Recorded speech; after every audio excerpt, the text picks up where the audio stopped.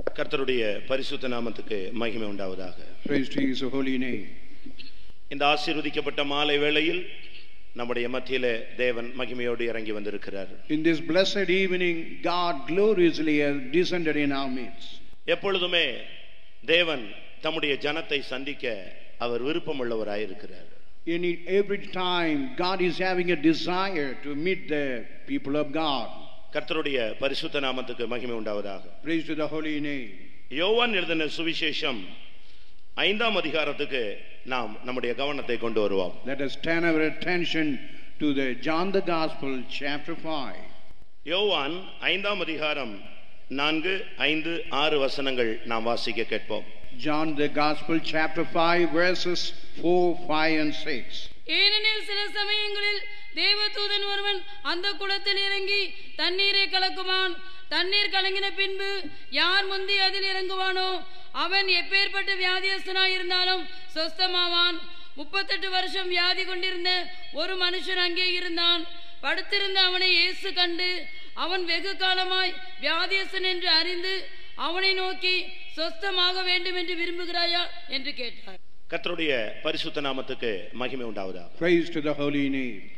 ஆண்டவராகிய இயேசு கிறிஸ்து இந்த உலகத்தில் இருந்த பொழுது நடந்த ஒரு சம்பவத்தை நாம் இப்பொழுது வாசிக்க கேட்டோம் We heard about a passage where the Lord Jesus Christ upon the earth, what the thing, what the incident took place. நாம் இங்கே வாசித்த பகுதியில் இறைவன் மனிதனை சந்திக்கக்கூடிய ஒரு சூழ்நிலையை நாம் பார்க்கலாம் Here we can find a situation where the God Almighty is getting a chance to see a man. பிரியமானவர்களே உங்களுடைய வாழ்க்கையில் அநேக மனிதர்களை நீங்கள் சந்தித்திருக்கலாம் ஆனால் இறைவனை சந்தித்திருக்கிறீர்களா என்பது ஒரு முக்கியமான ஒரு கேள்வி You might have met a very important person in the world, but the question is whether you have met the Lord God. இல்லாவிட்டால் உண்மையான தெய்வம் உங்கள் வாழ்க்கையில் உங்களை சந்தித்திருக்கிறாரா என்பதை ஒரு விசை நீங்கள் கேட்டு பாருங்கள் Or, you know, one occasion you just question within yourself where, whether you have really met your Lord.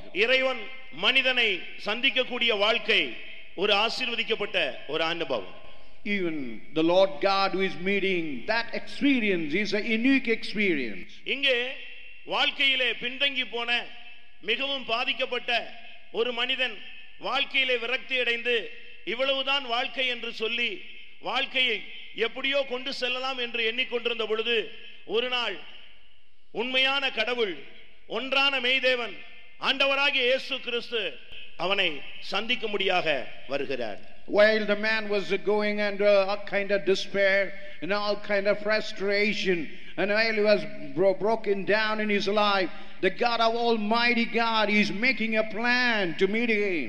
ஒவ்வொரு மனிதனும் வாழ்க்கையிலே பிரச்சனைகள் உள்ளவனாகவே காணப்படுகிறான் Every man in the world, they do have certain problems in their life. மனிதன் என்று சொன்னாலே அவன் தேவைகள் நிறைந்தவனாகவே காணப்படுகிறான் When a man is he is always having some needs on his side. இந்த தேவைகள் சந்திக்கப்படாமல் வாழ்க்கையினுடைய பிரச்சனைகள் தீர்க்கப்படாமல் இன்றைக்கு மனித சமுதாயம் ஒரு முடிவை நோக்கி போய்க் கொண்டிருக்கிறது And without their needs met, without the problem is solved, even the condition of man is proceeding towards something else. பிரியமானவர்களே முப்பத்தி எட்டு வருடமாக வாழ்வில் பாதிக்கப்பட்டு எந்த விதமான முன்னேற்றமும் இல்லாத ஒரு மனிதனுடைய வாழ்வை நாம் இங்கே பார்க்க முடியும் And here we could find about a man for 38 long years. He was not able to find any kind of solution to his problem, but seemed to be continuing. வாழ்வின் பாதி பகுதியை அவன் நிம்மதி இல்லாமலே வாழ்வில் திருப்தி இல்லாமலே அவன் கழித்து விட்டான் Even half of his life, with all kind of unsatisfaction and frustration, already has spent his life. அவனுக்கு விவரம் தெரிந்தது முதல் தன்னுடைய வாழ்வில் ஒரு வெளிச்சம் கிடைக்குமா? தன்னுடைய வாழ்வில் நிம்மதி கிடைக்குமா? வாழ்வின் பிரச்சனைகளுக்கு பரிகாரம் கிடைக்குமா? என்று அவன் பல இடங்களுக்கு அலைந்து திரிந்து ஒன்றுமே கிடைக்காது என்கிற ஒரு முடிவுக்கு வந்த ஒரு மனிதன். When he had a little light about the life, You were thinking about where you could find peace and, and also the tranquility. Finally, he came to a point where he was not able to meet any kind of solution to his problem. பலர் பலவிதமான தன்மை உள்ள அநேக சக்திகளை அநேக தெய்வம் என்று சொல்லக்கூடியவர்களை உயர்ந்த மனிதர்களை மேதைகளை அவனுக்கு சொல்லி இருக்கலாம் அவன் அவர்களை தேடி போயிருக்கலாம் ஆனால் வாழ்வில் அவனுக்கு எதிர்பார்த்த விடுதலை கிடைக்கவே இல்லை Even the people who are seem to be great, the people who are seem to be great in the religion, they might have told about a way, but he went through that way. He could not find an answer for that. எவ்வளவோ வாழ்க்கையில் பிரயாசப்பட்டு விடுதலையின் வழியை தேடினான் அவனுக்கு அது கிடைக்கவில்லை He had made all kind of endeavor and he tried, but he was not able to find an answer for that. எல்லா இடங்களிலும் தேடி தேடி கடைசியிலே விடுதலையே கிடைக்காது என்கிற ஒரு சூழ்நிலையில் ஒருவர் சொன்னார் ஒரு குளம் இருக்கிறது அந்த குளத்தில் போனால் உன்னுடைய வாழ்வில் உள்ள பிரச்சனைகள் வியாதிகள் நெருக்கங்கள் நீங்கிவிடும் நீ அங்கே போ என்று சொல்லி கடைசியாக ஒரு குளத்துக்கு அனுப்பி விட்டார்கள் When he had no far find no other alternative, but somebody had directed him, there is a pool of water. When he go over there, there he would find an answer. கோவில் கோவிலாக சுற்றின மனிதன் இப்பொழுது குளத்தண்டை அவன் கடந்து போய் சேர்ந்தான் The man who was journeying from one temple to another temple, but now he had reached to the pool. எத்தனையோ இடங்களுக்கு அவன் நடந்து சென்றும் அவன் அலைந்து திரிந்தும் அவனுடைய வாழ்வில் அவன் எதிர்பார்த்த நிம்மதியை எந்த ஒரு சக்தியும் கொடுக்கவில்லை Whatever the places he was going and whatever the place he went, but no power in the world is able to give him a great tranquility in his life. எல்லாரும் சொல்லுகிறார்களே இந்த குளத்தண்டை போனால் ஒரு தேவதூதன் வந்து கலக்குவானாமே அப்படியானால் நம்முடைய வாழ்வில் விடுதலை கிடைக்கும் என்கிற ஒரு நம்பிக்கையோடு வந்தான் ஆனால் அங்கும் அவனுக்கு விடுதலை இல்லை And he had about, while he go to that pool, there would be a person to heal him. But when he reached that place, but he couldn't find any kind of healing as he reached that pool. அவனுக்கு பல இடங்களுக்கு வழி சொல்லி கொடுத்தார்கள் And they have directed him the way where he ought to go.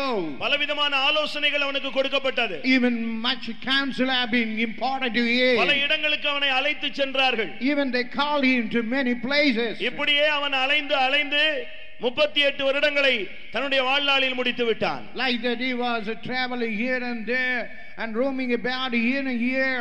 He had spent 38 long years. ஒரு குறிக்கப்பட்ட காலத்துக்கு பின்பு அவனுடைய குடும்பத்தை விட்டு அவன் விலகிவிட்டான் ஒரு அனாதை போன்ற ஒரு நிலவரத்துக்கு தள்ளப்பட்டான் எந்த மனிதனும் அவனுக்கு உதவி செய்ய இயலவில்லை And after a certain year, he departed from the family. He became a lonely man, and nobody was able to help him. அருமையான சகோதரனே சகோதரியே இப்படிப்பட்ட ஒரு வாழ்வில் இப்படிப்பட்ட ஒரு சூழ்நிலையில் ஒரு மனிதன் தன் வாழ்வாளை கழிப்பானால் அவனுடைய நிலவரம் எப்படி இருந்திருக்கும் என்பதை ஒரு விசை உங்களுடைய மனதிலே சிந்தித்து பாருங்கள் You just say one minute, you think about if a man was alive and roaming about, with kind of peace, what would be the state? ஒருவேளை இந்த மனிதனை போல் இல்லாவிட்டாலும் வேறு விதங்களிலே வாழ்க்கையின் பிரச்சனைகளுக்கு பரிகாரத்தை தேடி நிம்மதியை தேடி நீங்களும் கூட உங்களுடைய ஆயுசில் பல வருடங்களை நீங்கள் இழந்திருக்க கூடும் Even like this man, you would have really loitered here and there, seeking the tranquility, and you might have wasted your years. நீங்களும் பல கோயில்களுக்கு போயிருக்கலாம் பல குளங்களுக்கு நீங்கள் சுற்றி இருக்கலாம் And even you might have visited many temples, even you might have visited many pools. எந்த குலத்துக்கு போனாலும் மனிதனுக்கு நிம்மதி கிடைக்காது அவன் போக வேண்டிய இடம் வேறு ஒன்று என்பதை அவன் சிந்தையிலே கொண்டு வர வேண்டும் Wherever you go, even if you go to the pool, you will not find healing. But there is a place where you are to go. முப்பத்தெட்டு வருடமாக அவன் அலைந்து திரிந்து கடைசியிலே ஒன்றுமில்லை என்ற நிலவரத்திலே அந்த குளத்தண்டை இருந்த ஒரு மண்டபத்தில் போய் படுத்து விட்டான் And 38 years he was lying here and there, finding no other way, and he was greatly tired. Finally, he lied down here at the pool. இப்பொழுது அவனுக்கு யாருமே உதவி செய்ய முடியவில்லை என்கிற ஒரு நிலவரத்துக்கு அவன் தள்ளப்பட்டு விட்டான் Now he had been pushed to a position where nobody could help him. எந்த மனிதனும் அவனுக்கு உதவி செய்ய முன் வரவில்லை And nobody have come forward to help this wretched man. அவனுடைய குடும்பம் அவனுக்கு உதவி செய்யவில்லை Even the family is now not able to help அவனுடைய him. நண்பர்கள் அவனுக்கு உதவி செய்யவில்லை Even the friends is not able to help him. அவனுடைய ஜாதி சமுதாயங்கள் எவைகளும் அவனுக்கு உதவி செய்யவில்லை Even his community religion could not help him. பிரியமானவர்களே இப்படிப்பட்ட ஒரு வாழ்க்கையை உங்களில் எத்தனை பேர் சந்தித்து வருகிறீர்கள் Oh, dear beloved, how wretched life, how many of you are really undergoing in our life? இன்றைக்கு மனித சமுதாயம் பலவிதமான பிரச்சனைகளில் சிக்கி அது சீரழிந்து கொண்டிருக்கிறது Even today, the human race is caught with a problem and seems to be going under great peril. எத்தனையோ இடங்களுக்கு அலைந்து திரிந்து விடுதலை இல்லாமல் ஒரு மண்டபத்திலே முடங்கி போனது போல நீங்களும் கூட வாழ்க்கையிலே முடங்கி போய் கிடக்கலாம் You might have went and seeking all kind of tranquility without finding that. Just like that man who had finally rested near the porch, you might have come to that place. இப்படிப்பட்ட பிரச்சனைகளை தொடர்ந்து சந்திக்கிற மனிதன் வாழ்வில் விடுதலை இல்லை என்று சொல்லி இனிமேல் பரிகாரமே இல்லை என்று சொல்லி தன்னுடைய வாழ்க்கையை தற்கொலையிலே முடித்துக் கொள்ள பார்க்கிறார் Sometime when you find no answer to that and thinking that finally he is always seeking to commit suicide. பிரியமானவர்களே எந்த பிரச்சனைக்கும் ஒரு பரிகாரம் உண்டு Oh dear beloved, whatever the problem, there is a remedy. எந்த போராட்டத்துக்கும் விடுதலைக்கு ஒரு வழி உண்டு For any kind of struggle, for trouble, there is a way. அந்த வழிதான் ஆண்டவராகிய இயேசு கிறிஸ்து என்று இந்த மாலை வேளையில் உங்களுக்கு நாங்கள் அறிமுகப்படுத்துகிறோம் And that way is the Lord Jesus Christ. I want to introduce you in this evening. அந்த குளத்தண்டையிலே அவன் போய் மண்டபத்திலே கிடந்து படுத்து கிடந்த பொழுது ஒரு நாள் ஆண்டவராகிய இயேசு கிறிஸ்து அவனை தேடி வந்தார் While he went to that pool, while he was lying down near the porch, and he was able to meet the Lord Jesus Christ. இன்றைக்கும் ஆண்டவராகிய இயேசு கிறிஸ்து ஒவ்வொரு மனிதனையும் அவர் தேடிக்கொண்டே இருக்கிறார் Even today, the Lord Jesus Christ is visiting and seeking every man. நீதிமான்களை அல்ல பாவிகளையே ரட்சிக்க நான் உலகத்தில் வந்தேன் என்று ஆண்டவராகிய இயேசு சொல்லுகிறார் Even the Lord Jesus say, I never come to seek the righteous man, only to the sinful man in the world. அந்த மண்டபத்தில் கிடந்த மனிதன் அவன் இறைவனை தேடவில்லை விடுதலையை மாத்திரம் தேடினான் ஆனால் அந்த குளத்தண்டை வந்த இயேசு அந்த மண்டபத்தண்டை வந்த இயேசு அந்த மனிதனை பிரத்யட்சமாய் நேரடியாக தனிப்பட்ட விதத்தில் அவனை தேடி வந்தார் And the man who was lying down the porch, he never sought God, but he only sought deliverance. But the Lord Jesus Christ, he came to that pool, directly came near to that man. எப்பொழுது மனிதன் உன்னை கைவிடுகிறானோ அப்பொழுது தேவன் உன்னை அணைக்கிறார் When the occasion you are being abandoned, the very hour God is able to embrace you. எப்பொழுது மனிதனால் நீ புறக்கணிக்கப்படுகிறாயோ அப்பொழுது நீ தேவனால் இழுக்கப்படுகிறாய் When you have been deserted by man, the very hour you have been drawn towards your God. நீ இறைவனை தேடாவிட்டாலும் இறைவன் உன்னை தேடி வந்து கொண்டே இருக்கிறார் Even if you never seek your God, the very God is coming, stretching you. பிரியமானவர்களே சுமார் இரண்டாயிரம் ஆண்டுகளுக்கு முன்பாக தேவன் இறைவன் கடவுள் ஒன்றான மெய் தேவம் ஆண்டவராகிய இயேசு மனித சாயலாய் இந்த பூமியிலே அவதரித்து கடந்து வந்தார் Approximately 2000 years ago, the one God, the mighty God, the almighty God, he came in the form of a man to seek everyone. பிரியமானவர்களே மனிதனுக்கு ஏன் இப்படிப்பட்ட ஒரு சஞ்சலமான வாழ்க்கை Why man is having such kind of sorrowful life? ஏன் அவனுக்கு மாத்திரம் இவ்வளவு கொடூரமான வியாதிகள் Why man is having such a cruel sicknesses? அவனுக்கு நிம்மதியே கிடையாதா Why don't he have any kind of restful life? இப்படிப்பட்ட ஒரு சூழ்நிலையில் மனித சமுதாயம் தள்ளுண்டு போயிற்று Why man have been pushed in this kind of wretched, miserable condition? நீங்கள் மருத்துவமனைக்கு சென்று பாருங்கள் You just go and visit the hospital. மனிதன் சந்திக்கக்கூடிய வியாதிகள் You see how man is going under under sicknesses. மனிதன் சரீரத்துல மனதுல எவ்வளவு சிதைக்கப்பட்டிருக்கிறான் என்பதை நீங்கள் நேரடியாக பார்க்கலாம் You can go if you go to the hospital, you can understand how man physically and mentally how he have been completely bruised. ஏன் ஒவ்வொரு குடும்பங்களிலும் எவ்வளவு பிரச்சனைகள் இருக்கிறது And even in every family, you can find multiple of problems. குடும்பங்கள்ல எத்தனை பேர் வியாதியஸ்தர்களாய் காணப்படுகிறார்கள் Even in the family, you can find many are having a lot of sicknesses. ஏன் மனிதனுக்கு இந்த பிரச்சனை Why man is having this kind of ஏன் problem? மனிதனுக்கு இவ்வளவு போராட்டங்கள் Why man is having this kind of struggle? பிரியமானவர்களே முதலாவது நாம் அதை தெரிந்து கொண்டால் அதிக நலமாயிருக்கும் Oh dear beloved, if you know about the fact, the reason it would be better for you. ஒவ்வொரு மனிதனும் மனிதனுக்கு ஏன் இந்த பிரச்சனை என்பதை நினைவு கூர்ந்தால் அவனே தேவனிடத்தில் திரும்பி விடுவான் If every man able to understand the reason for all the problem, he would be turning toward God. பிரியமானவர்களே மனிதனை தேவன் தன்னுடைய சாயலின்படி அவர் சிருஷ்டித்தார் Man had created, God has created man in his own form and his image. தன்னுடைய சாயலின்படியும் தன்னுடைய ரூபத்தின்படியும் தேவன் அவனை சிருஷ்டித்து வைத்தார் And God had created him in his own form and in his own image. தேவனுடைய சிருஷ்டிப்பில் எந்த விதமான குறைபாடும் கிடையாது In the creation of the Lord, there is no blemish or lacking.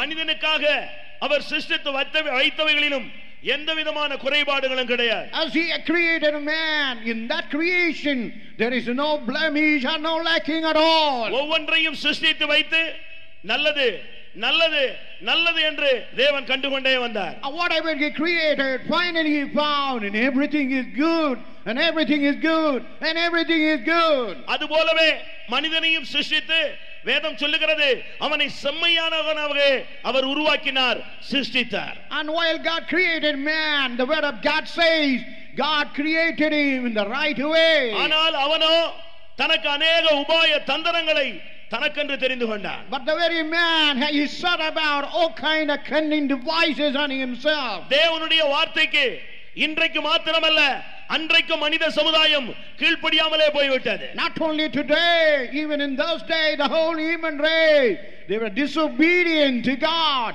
இன்றைக்கு ஒன்றான மெய் தேவன் ஆண்டவராகிய இயேசு கிறிஸ்து என்று நாங்கள் அறிக்கையிடுகிறோம் எத்தனை பேர் அதை ஏற்றுக்கொள்ள முடிகிறது And we confess the only living God is the Lord Jesus Christ. How many of you able to accept that? ஆனால் அநேகர் அதை ஏற்றுக்கொள்வதில்லை And but many never accept that. அதுபோலவே அன்றைக்கு தேவன் மனிதனுக்கு கொடுத்த கட்டளைகளுக்கும் அவன் கீழ்ப்படியாமல் அதை ஏற்றுக்கொள்ளாமல் அன்றைக்கு மனித சமுதாயத்தை அவன் விழ வைத்தான் And even in those days, the devil never allowed them to obey to the commandment.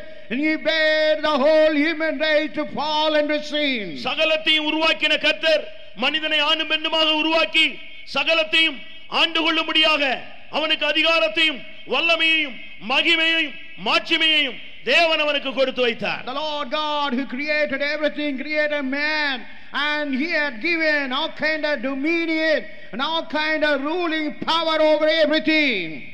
ஒன்றான மெய் தேவனை ஒவ்வொரு நாளும் பார்க்க பேச அவரோடு நடக்க ஒரு ஆசீர்வதிக்கப்பட்ட ஒரு வாழ்க்கையை அவன் பெற்றிருந்தான் And he had a good chance of the only living God to talk and to see and, and always experience him. ஆனால் அவனோ தேவனுக்கு கீழ்ப்படியாமல் போனான் But he himself became a disobedient person. தேவனுடைய கட்டளையை அவன் மீறினான் And he had transgressed the commandment of God. தேவனுடைய பிரமாணத்தை மீறினான் And he transgressed the ordinance of God. பிரியமானவர்களே இப்படித்தான் மனித சமுதாயம் முதலாவது கீழ்ப்படியாமையினாலே விழுந்து போனது And dear beloved, the human race, because of the disobedience, it all fallen.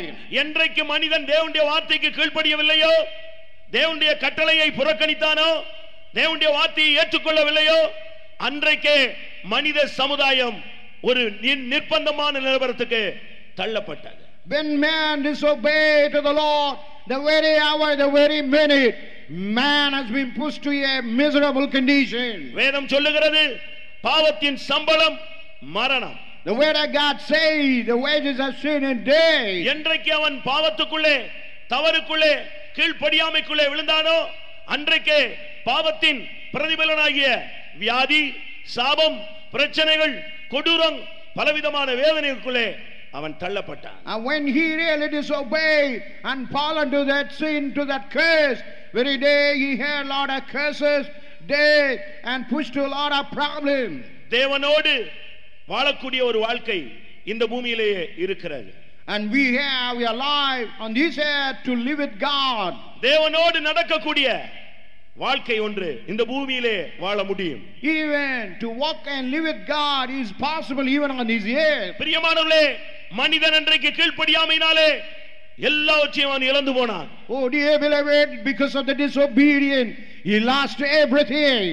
இன்றைக்கு மனிதன் மனிதனாக இல்லை But today we can find man is not like a man. கொடூரமானவனாக And he became a very cruel, சபிக்கப்பட்டவனாக as a cursed man, வெறுமை உள்ளவனாக as a empty man, விரக்தி உள்ளவனாக as a man with a ஒரு frustration. நிர்பந்தமான சூழ்நிலையிலே அவன் தள்ளப்பட்டிருக்கிறான் And have been pushed to a miserable condition. ஒவ்வொரு மனிதனையும் சந்தித்து பாருங்கள் ஒவ்வொருவனும் ஒவ்வொரு காரியத்திலே குறைவுகளை சொல்லிக்கொண்டே வருவார் If you meet any man, everybody will be narrating about his problem in one way or other.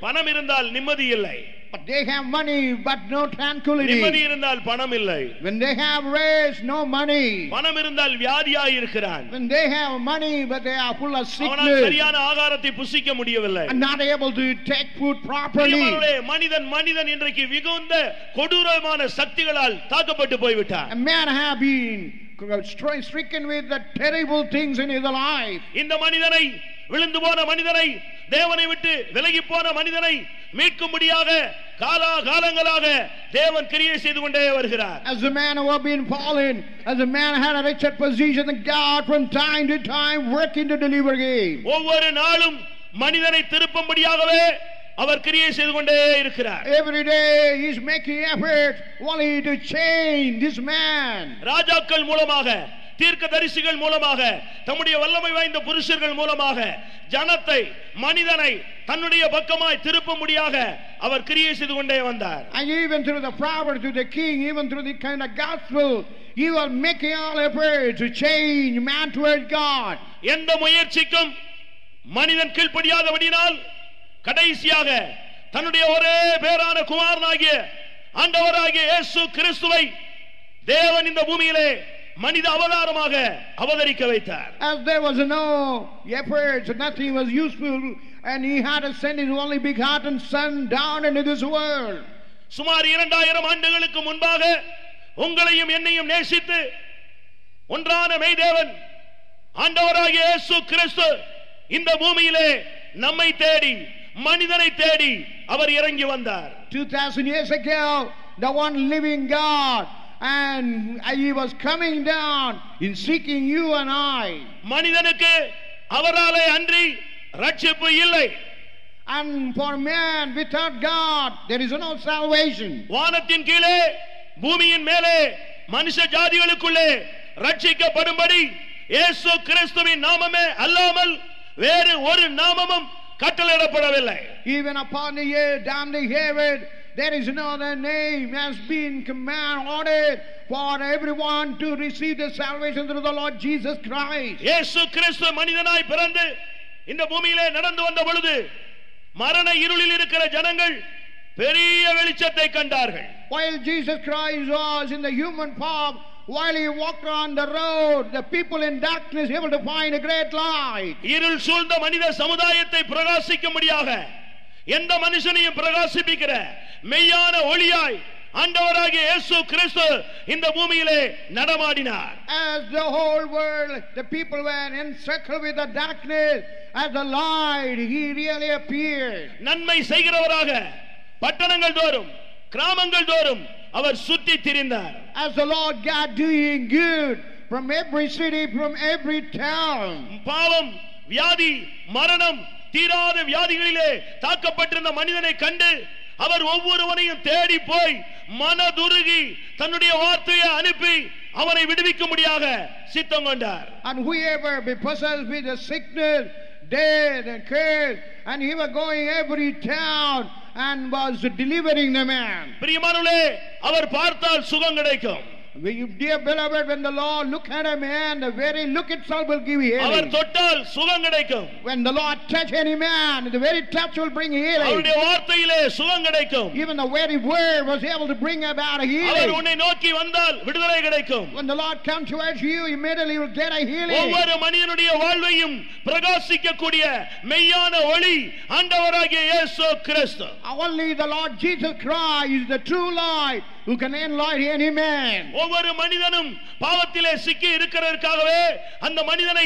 பாவத்திலிருந்து மீட்கும்படியாக தன்னுடைய ஜீவனை கொடுக்கும்படியாக இயேசு கிறிஸ்து இந்த பூமியிலே கடந்து வந்தார் As a man being caught in the sin, only to deliver that kind of man, the Lord Jesus Christ came into the world. இயேசு இல்லாமல் உன் வாழ்வில் வெளிச்சம் இல்லை Without the Lord Jesus Christ, there is no light unto you.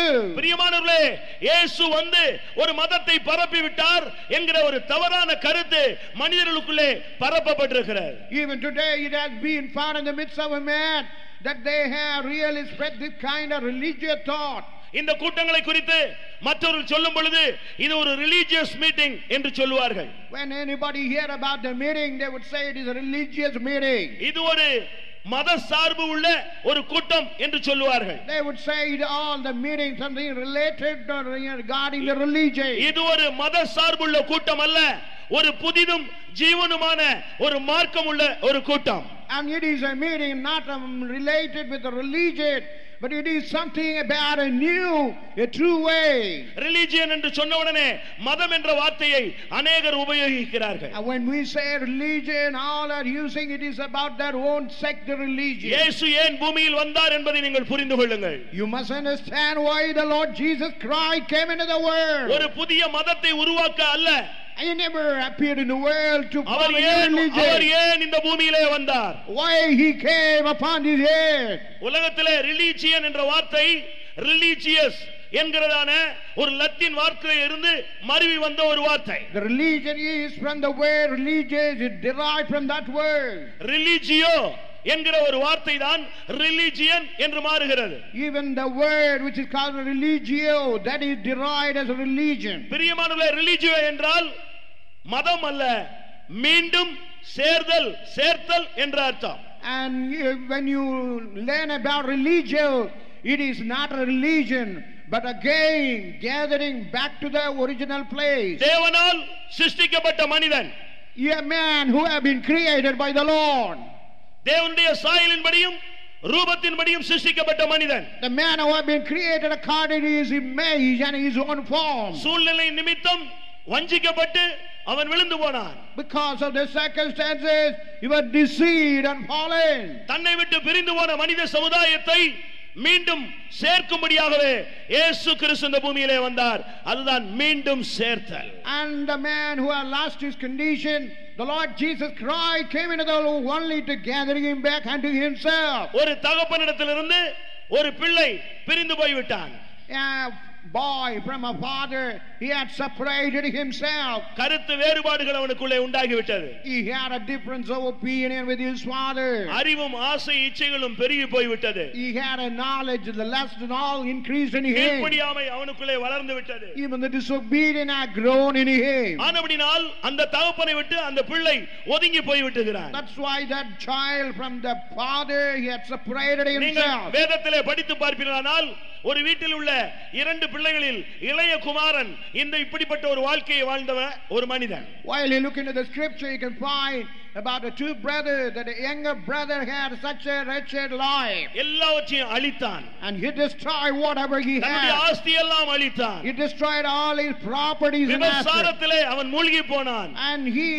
plunged into the adultery. தன்னுடைய மதிப்பை இழந்தான் He lost his reputation. தன்னுடைய மரியாதையை இழந்தான் Even he lost his dignity. தன்னுடைய ரூபத்தையும் சாயலையும் இழந்தான் Even he lost his form and appearance. புசிக்க ஆகாரம் இல்லை He had nothing to eat. எந்த இடத்துல அவனுக்கு வேலை கிடைக்கவில்லை But any place, he didn't get any employment. பன்றி மேய்க்கக்கூடிய ஒரு வேலைக்கு போய் சேர்ந்தான் Now he had joined in a journey to tend the sheep. ஒரு நாள் அவனுக்கு புத்தி தெளிந்தது But one day he had a clear mind. நான் ஏன் இப்படி கஷ்டப்பட வேண்டும் Why should I suffer in this way? என்னுடைய தகப்பன் ஒருவர் உயிரோடு இருக்கும் பொழுது While my father is alive. என்னை பெற்றெடுத்த தகப்பன் ஒருவன் உயிரோடு இருக்கும் பொழுது When my begotten father is alive. நான் ஏன் கஷ்டப்பட வேண்டும் Why should I suffer in this way? அவன் மறுபடியும் திரும்பி வீட்டை நோக்கி வந்தான் Again he was returning back to his அந்த own house. தகப்பன் ஓடி போய் அவனை அணைத்துக் கொண்டான் And the father went voluntarily and embraced him. வீட்டை விட்டு வெளியே போன பிள்ளை மறுபடி வீட்டுக்குள் வந்தால் அது மனமாற்றமா And the man who had gone away from his own house when he returned back, De- is it a conversion into another religion? தேவனை விட்டு விலகி போன மனிதன் மறுபடியும் தேவனிடத்தில் வருகிறான் இது மதமாற்றம் அல்ல புத்தியின் தெளிவு And when a man who lost his way, when he come back into God, it is not a change of religion, conversion. It is only change of நான் mind. தேவனுடைய சாயலில் சிருஷ்டிக்கப்பட்ட மனிதன் ஆண்டவராகிய இயேசு மெய்யான தெய்வம் என்பதை விசுவாசித்து அவன் திரும்பி வருவானானால் அது மதமாற்றம் அல்ல உண்மையான வழியிலே அவன் வருகிறான் என்று அர்த்தம் And when he understand about God, about him, when he turn back and come unto him, it is not a conversion, but he change his mind. அருமையான நண்பனே அந்த மனுஷன் முப்பத்தி எட்டு வருஷமாய் அவன் அலைந்து திரிந்து கடைசியாக ஒரு மண்டபத்திலே அவன் சரணடைந்து விட்டான் And for 38 long years he loitered and went all around. Finally he surrendered under that porch அருமையான. நண்பனே நீயும் ஏதோ ஒரு பெயரில் உள்ள ஒரு மார்க்கத்தில் ஒரு மதத்தில் ஒரு மண்டபத்தில் ஒரு சமுதாயத்திலே நீ கட்டப்பட்டு உன்னுடைய வாழ்வு இதுதான் என்ற நிலவரத்துக்கு நீ தள்ளப்பட்டு விட்டாய் Sometimes you may be bound to the kind of porch and pole and you have be really pushed to this side of life. அன்றைக்கு அந்த மனிதனை தேடி யாரும் சொல்லாமலே இயேசு கிறிஸ்து அந்த மண்டபத்தை நோக்கி வந்தார் Without saying of anyone, without instruction of anyone, the Lord Jesus Christ voluntarily came to that pool. அருமையான சகோதரனே உன்னுடைய வாழ்வில் ஒரு பெரிய மாற்றத்தை உண்டு பண்ணும்படியாகவே இயேசு கிறிஸ்து இந்த பூலோகத்திலே இன்றும் கிரியை செய்து கொண்டு வருகிறார் Only to make a change in our life. The Lord Jesus Christ is working in our life. வியாதிப்பட்ட மனிதனை சுகமாக்க வேண்டும் You want to heal the man who fell in sickness. விழுந்து கிடக்கிற மனிதனை தூக்கி விட வேண்டும் And whoever fallen, you want to take him up.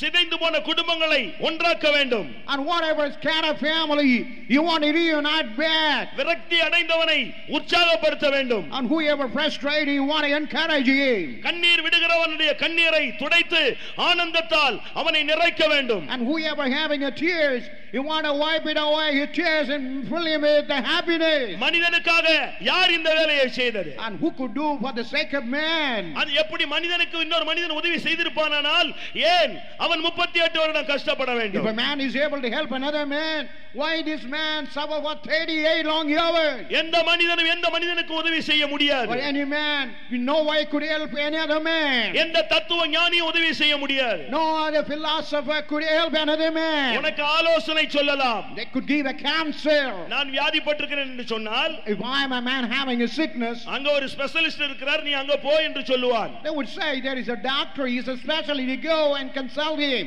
ஏன் உனக்காக ஒரு லட்சம் ரூபாய் செலவழித்து விடுகிறானா I, that man spend one lakh rupee for you. உனக்கு ஆலோசனை சொல்ல ஆயிரக்கணக்கானவர் உண்டு உதவி செய்ய யார் And there is a many to counsel you, but who is the man to help you financially? வியாதியிலிருந்து மனிதனை மீட்கும்படியாகவே இயேசு கிறிஸ்து இந்த உலகத்திலே அவர் சிலுவையிலே ஆணி அறையப்பட்டார் அவருடைய தழும்புகளால் நாம் குணமாகிறோம் Only to deliver man from sickness, the Lord Jesus Christ was nailed on the cross. By his stripes we are all healed.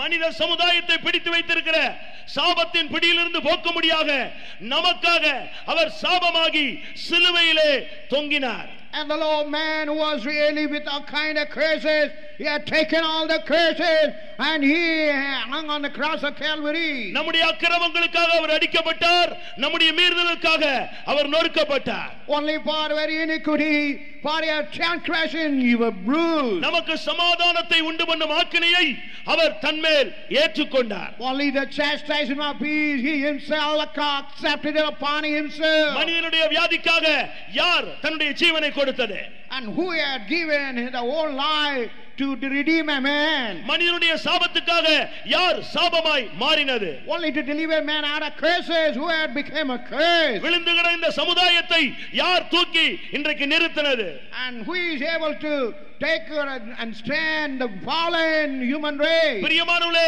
ஒவ்வொரு மனிதனுடைய பாவங்களையும் சுமந்து தீர்த்த தேவ ஆட்டுக்குட்டி ஆண்டவராகிய இயேசு கிறிஸ்து மாத்திரம் Oh, dear child of God, it is the Lamb of God who have borne all the sins of the world, the Lord Jesus Christ. அவருடைய சரீரத்திலிருந்து சிந்தின ஒவ்வொரு இரத்தமும் மனுஷனுக்காகவே சிந்தப்பட்டது And every drop of blood shed on the earth, it's only for the human race. மனிதனை மனிதனாய் மாற்றக்கூடியவர் ஆண்டவராகிய இயேசு கிறிஸ்து Only to change a man like a man, it is the Lord Jesus Christ. இன்றைக்கு மனிதனை மனிதனாய் யார் மதிப்பது Today, who would respect a man as a man? இந்த நேரத்தில் தான் இயேசு கிறிஸ்து மனிதனுக்காக வந்து கண்ணுடைய ஜீவனை சிலுவையிலே கொடுத்து மனிதனுக்காகவே மரணத்தை அவர் ருசி பார்த்தார் And he had given his own life, and for the sake of man, he tasted death. அவருடைய ரத்தத்தில் வல்லமை இருக்கிறது And even in his blood, there is a power. அவருடைய பெயரில் நாமத்தில் வல்லமை இருக்கிறது Even in the name, there is a power. அவருடைய வார்த்தையில் வல்லமை இருக்கிறது Even the word is having a great power. இப்படிப்பட்ட இயேசு கிறிஸ்து முப்பத்தி எட்டு வருடம் பாதிக்கப்பட்ட மனிதனை தேடி அந்த மண்டபத்துக்கே வந்தார் Like this Jesus Christ, a man who was affected for 30 long years, he was coming in search of that person. இந்த மாலை வேளையிலும் அருமையான நண்பனே உன்னையும் தேடி இந்த இடத்துக்கும் இந்த சத்தத்தை கேட்டுக்கொண்டிருக்கிற அந்த இடத்துக்கும் ஆண்டவராகிய இயேசு கிறிஸ்து வருகிறார் Even the Lord Jesus Christ, as you are where you are, and even the sun where it is produced, even to where the place is coming. அவன் தடுமாறி போய் விரக்தி அடைந்து ஒரு ஓரத்துல மண்டபத்தில் கிடந்தான் And he was uh, in a baffled condition and being rejected with a frustration. He was lying in the one side of the porch. அவனுடைய உள்ளம் சொல்லிச்சு இனிமேல் உனக்கு இவ்வளவுதான் வாழ்க்கை And even the heart was saying, Your life is to such extent only. தூதன் கலக்கும் போது நீ குளத்திலே முதலாவது இறங்கினால் விடுதலை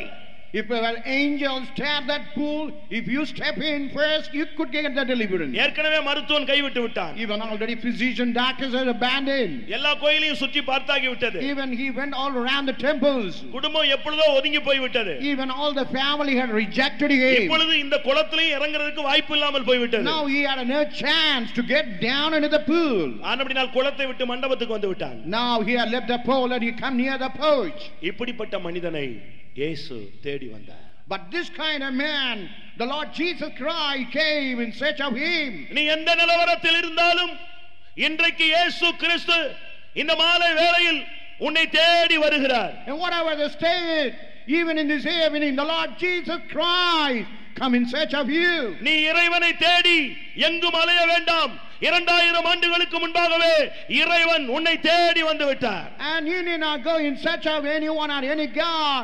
Even 2,000 years ago, He came down only in search of you. மண்டபத்துக்கு வந்து பார்த்தால் அவன் படுத்திருந்தான் Well, he came to the porch, he found lying in that place.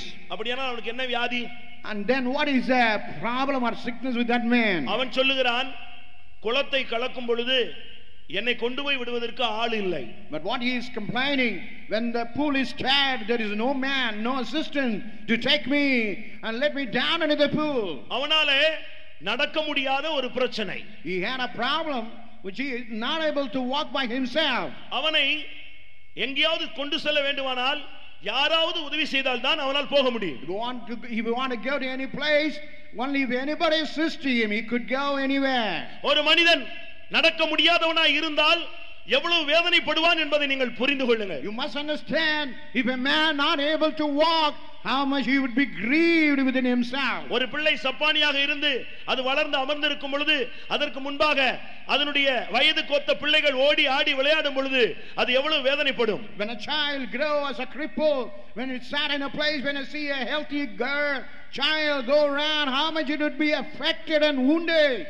தன்னுடைய கண்களுக்கு முன்பாக விடுதலை கிடைக்கிறது தனக்கு கிடைக்கவில்லை But before its eyes, he could see some deliverance, but not able to exceed him within itself. இயேசு அவனை பார்த்து கேட்டார் But Jesus looking at him, நீ இன்றைக்கு சொஸ்தமாக வேண்டும் என்று விரும்புகிறாயா do you desire to be delivered?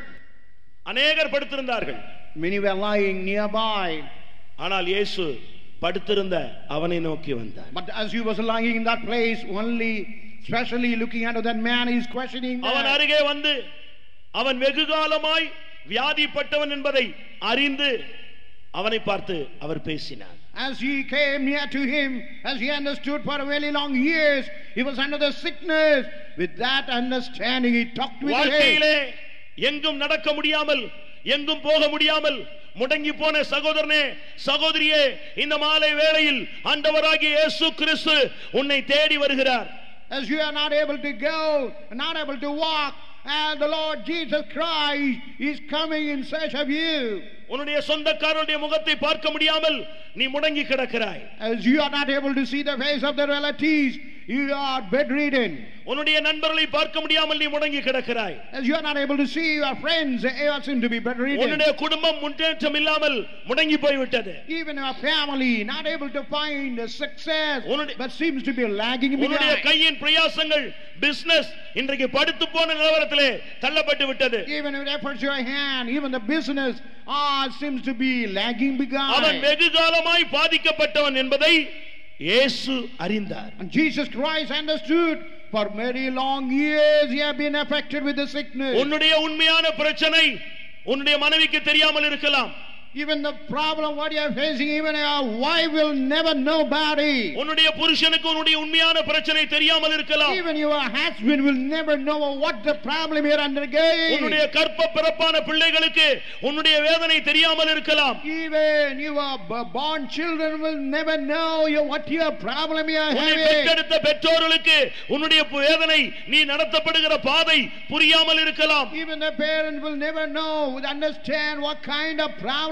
you are undergoing. உன்னுடைய நண்பர்களுக்கு ஒருவேளை உன்னுடைய துக்கம் தெரியாமல் இருக்கலாம் Even your friends will never know about your grief.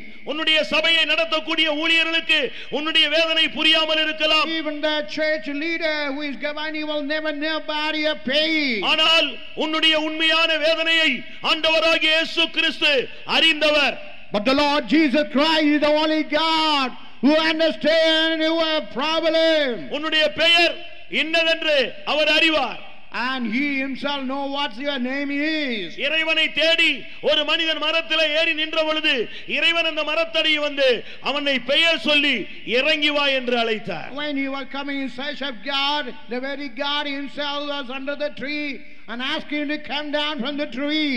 இன்றைக்கும் இந்த மாலை வேளையில் நீ என்ன நிலவரத்தோடு இங்கே அமர்ந்திருக்கிறாய் என்பதை ஆண்டவர் அறிவார் And in what state you have been seated under the plane, your God know about it. இந்த சத்தத்தை கேட்கிற அருமையான தேவனுடைய பிள்ளையே உன்னுடைய வாழ்வின் அந்தரங்கங்களையும் ஆண்டவர் அறியக்கூடியவர் Oh dear child of God, this God is able to understand all your hidden part of your life. சகலமும் அவர் கண்களுக்கு முன்பாக வெளியரங்கமாயிருக்கிறது everything, and the the. மனதின் துக்கங்கள் நீ போகும் பாதையின் வேதனைகள் எல்லாம் ஆண்டவர் அறிந்தவராய் அதிலிருந்து விடுதலை கொடுக்க வல்லவராய் இதோ நம்முடைய மத்தியிலே அவர் கடந்து வந்திருக்கிறார் As you know about all the problem, the suffering, the pain undergoing, as a delivering God had come in our midst. அவனை பார்த்து கேட்டார் நீ விரும்புகிறாயா And looking at that man, whether he desired to be இது- healed. இது என்ன கேள்வி வியாதியஸ்தனை பார்த்து சுகமாக விரும்புகிறாயான்னா அவன் அதுக்கு தானே வந்திருக்கிறான் And you may ask, well, is is it a question? A man, he was a sick man, he had come only to get the sickness to be healed. பிரியமானவர்களே இன்றைக்கு அநேகர் தங்களுடைய பிரச்சனையின் தீவிரத்தை விட்டுவிட்டு வேறு பகுதிக்கு வந்து விட்டார்கள் Many have ignored the side, the important part, they have skipped on to the other side. அவன் குளத்தண்டை இருக்கிறதை விட்டுவிட்டு மண்டபத்துக்கு வந்து இனி பிழைப்பு மண்டபத்தில் ஏதாவது கிடைக்குமா என்கிற நிலவரத்துக்கு வந்து விட்டான் And he had given up living, living, lying near the pool, but he had come to the porch, he wanted to find another sources available. அவன் சொன்னான் எனக்கு யாருமே உதவி செய்ய இல்லை But he was complaining, saying, nobody is coming forward to help me. விழுந்து போன தேவதூதர்களுக்கு கை கொடுக்காமல் விழுந்து போன ஆபிரகாமின் சந்ததிக்கு கை கொடுக்கிற கர்த்தர் இந்த மாலை வேளையில் உனக்கு கை கொடுக்க முடியாத உன்னுடைய பிசினஸ்ல உனக்கு கை கொடுக்க முடியாத உன்னுடைய குடும்ப வாழ்க்கையில் உனக்கு கை கொடுக்க முடியாத வியாதிப்பட்டிருக்கிற உனக்கு கை கொடுத்து தூக்கி விட முடியாத ஏசு கிறிஸ்து கடந்து Even the Lord God who had not given hands to the fallen angel, even given hand to Abraham, the same God has come. only to give hand and whatever the business, whatever the frustration are undergoing and everything you want to deliver you. பிரியமானவர்களே ஆண்டவராகிய இயேசு கிறிஸ்து அதர்சனமான ராஜனாய் நம்முடைய மத்தியிலே உலாவுகிறதை எத்தனை பேர் நம்புகிறீர்கள் The Lord God as the invisible God, He is moving in our midst. How many of you believe this? வெகு காலமாய் பாதிக்கப்பட்டிருக்கிற உன்னுடைய வாழ்க்கையில் இன்றைக்கு ஒரு பெரிய வெளிச்சம் அது ஒளி வீச போகிறது As you have been affected for many long years, the light is going to shine upon you. யோவான் எழுதின சுவிசேஷம் ஐந்தாம் அதிகாரம் எட்டாம் வசனத்தில் வந்த பொழுது இயேசு அவனை நோக்கி நீ எழுந்திரு And while you come to the John the Gospel chapter 5 verse 8, what the Lord Jesus Christ telling to him, rise up. இரண்டாவது சொன்னார் உன் படுக்கையை நீ எடுத்துக்கொண்டு நடந்து போகலாம் And secondly, he was ordering him, take up thy bed and walk. வாழ்வில் வெகு காலமாய் கஷ்டப்படுகிற நீ இன்றைக்கு நீ விடுதலை பெற வேண்டுமானால் முதலாவது இயேசு சொல்லக்கூடிய வார்த்தையை நீ ஏற்றுக்கொள்ள வேண்டியது அவசியம் As you have been suffering for many long years, it is so important you had accept the word which is uttered by the Lord Jesus Christ. சொந்தக்காரன் சொன்னா கொஞ்சம் எழும்பி பாருன்னு அவனால Even- எழும்ப முடியல Even the relatives are ordering, you just try to get up, but he was not able to do. மண்டபத்துல இருக்கிறவெல்லாம் சொல்லலாம் எழும்பி பாருன்னு அவனால எழும்ப முடியல And even all the people are telling you just try to get up, but he was not able. நீ எழும்பாமலே இருந்தா உன்னுடைய வாழ்க்கையில இப்படியே தான் நீ இருக்க வேண்டும் என்று அநேகர் போதித்தார்கள் அவனால் எழும்ப முடியவில்லை Even though many have counseled him, instructed him to get up, he was not able to do இயேசு that. அவனிடத்துல பேச ஆரம்பித்த உடனே அவரை அவன் ஏற்றுக்கொள்ள ஆரம்பித்தான் When the Lord Jesus Christ started talking with him, the very hour he accepted the Lord Jesus Christ. திடீரென்று வந்து நீ விடுதலை அடைய விரும்புகிறாயா All of a sudden he came and appeared and asked him, Do you desire to be உடனே healed? அவன் சொல்கிறான் எனக்கு உதவி செய்ய ஆள் இல்லை First of all, he complained, I have nobody to help me. இயேசு சொன்னார் நீ எழுந்திரு And Jesus saying, Rise up, உன் படுக்கையை எடுத்துக்கொண்டு நீ நட take up thy bed and walk. அருமையான நண்பரே உன்னுடைய வாழ்வில் மாற்றம் உண்டாக நீ இயேசுவை ஏற்றுக்கொள்ள வேண்டும் இயேசு கிறிஸ்துவனுடைய வார்த்தையை கட்டளையை பிரமாணத்தை வசனங்களை நீ ஏற்றுக்கொள்ள வேண்டியது அவசியம் And you have to accept the Lord Jesus Christ. It is so indispensable you have to accept the commandment, statutes, and ordinance of God. வியாதிப்பட்டவனை எழுந்து நட என்று சொல்லுவது மதமாற்றமா And as a man who is able to be a sick man, when he asks to rise up and walk, is it a change of religion? இயேசு அங்க மதத்தை பத்தி பேசவே இல்லை But Jesus was never talking about a religion. இல்ல என் பின்னால வா என்று அவனை சொல்லவும் இல்லை He never asked him to get, rise up and walk. மனிதனை பார்த்து மனதுருகி இருதயம் நொறுங்கி முப்பத்தி எட்டு வருடமாய் வேதனையோடு வாழ்கிறானே அவனுக்காக நான் என் ஜீவனை கொடுக்க வேண்டும் என்று இயேசு இறங்கி வந்தார் As he was suffering for 30 long years with all kind of compassion, the Lord Jesus Christ came down into the world. இயேசு அவனிடத்தில் காணிக்கையோ பணத்தையோ எதையும் எதிர்பார்க்கவில்லை அவன் எழும்பி மனிதனாய் நடக்க வேண்டும் And the Lord Jesus Christ never expected any kind of offering or oblation, but he wanted this man must rise up and walk. அவனும் மற்றவனை போல மனிதன் என்பதை நிரூபிக்கப்பட வேண்டும் And God wanted to prove that he is also like other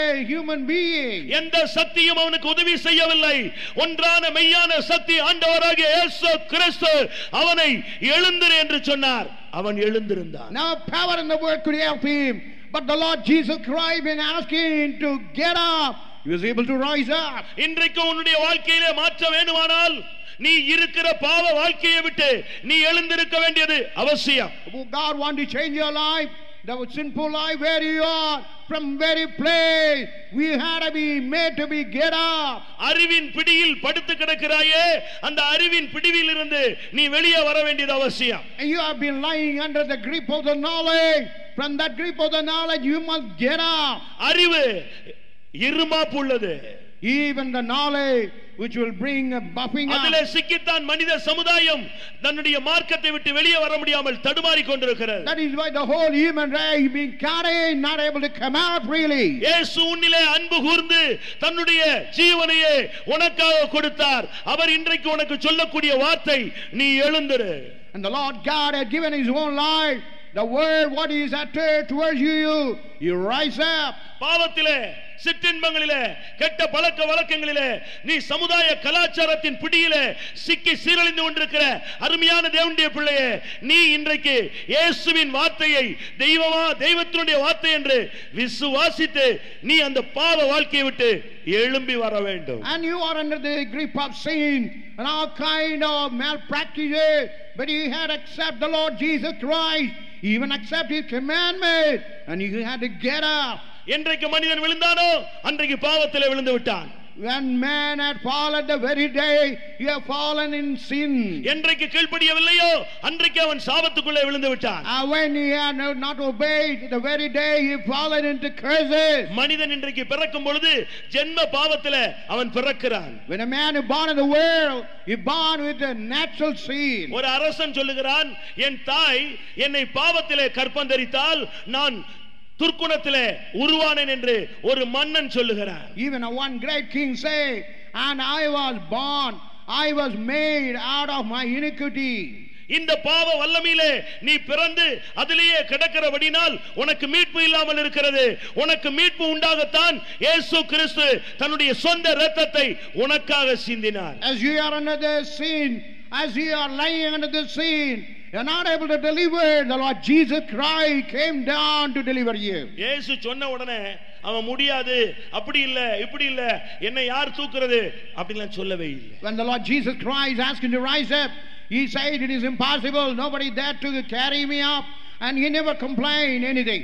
அவருடைய வார்த்தையில் வல்லமை உண்டு His word is having a great power. அவர் ஒரு வார்த்தை சொன்னால் போதும் And when he say one word, அவருடைய வார்த்தையில் உலகங்கள் உண்டானது and by his word, even the world have been formed. தேவனுடைய வார்த்தை வல்லமை உள்ளது சிருஷ்டிக்கும் தன்மை உள்ளது எந்த மனிதனுடைய வாழ்க்கையும் மாற்றக்கூடிய சக்தி உள்ளது Even the word of God is having a great power. It can create, even it can change any man. எழுந்திரு என்று சொன்ன உடனே உடனடியாக ஒரு ஜீவன் அவனுக்குள்ளே வந்தது அவன் எழுந்து விட்டான் When the Lord God told him to rise up, immediately a great power entered him, and he was able to get up. இயேசுவின் வார்த்தையை எத்தனை பேர் நம்புகிறீர்கள் How many of you believe the word of the Lord Jesus Christ? இன்றைக்கு மருத்துவர்கள் விஞ்ஞானிகள் தர்க்க சாஸ்திரிகள் எல்லாரும் இந்த வேதத்தில் சொல்லப்பட்ட ஆண்டவருடைய வார்த்தையை ஏற்றுக்கொண்டு வாழ்க்கையில முன்னேறி கொண்டிருக்கிறார்கள் Even a lot of physicians, the scientists, theologians, and all have accepted the word of God and they are going progressively in the நீ line. பிறந்தது முதற்கொண்டு எத்தனையோ பேருடைய வாழ்க்கைக்கு கீழ்ப்ப வார்த்தைக்கு கீழ்ப்படுகிறாயே இன்றைக்கு ஒரு விசை இயேசுவின் வார்த்தைக்கு நீ கீழ்ப்படிந்து பார் As you are born in the world, you obey to many things. But tonight you try to obey your God. மற்ற மனிதனுடைய வார்த்தை போல அல்ல இயேசு சொன்னால் அது அப்படியே ஆகும் It is not like any man. But when Jesus ordered a word, it exactly will accomplish in you. அவர் சொல்ல ஆகும் அவர் கட்டளையிட அப்படியே நிற்கும் And when he commanded, when he ordered it, it will be done in the similar நீ way. எழுந்திரு உன் படுக்கையை எடுத்துக்கொண்டு நீ நட என்று சொன்னார் And he ordered him to rise up and take his bed and walk. அவன் படுக்கையை பெர்மனண்டா போட்டு விட்டான் But permanently, he had to put that bed in that place itself. அது மடித்து வைத்து எத்தனையோ வருடங்கள் ஆகிவிட்டது It took many years to even to wrap அந்த it. விரிக்கப்பட்ட படுக்கையிலேயே அவன் அப்படியே கிடந்து கொண்டே இருக்கிறான் Even in the open bed, he had been lying for many long உன்னுடைய years. வாழ்வின் படுக்கையை நீ மாற்ற வேண்டியது அவசியம் You had to change the life of your bed right ah, now. தூங்குகிற நீ விழித்து மரித்தோரை விட்டு எழுந்திரு கிறிஸ்து உன்னை பிரகாசிப்பார் As you are sleeping, you had to get up from the dead.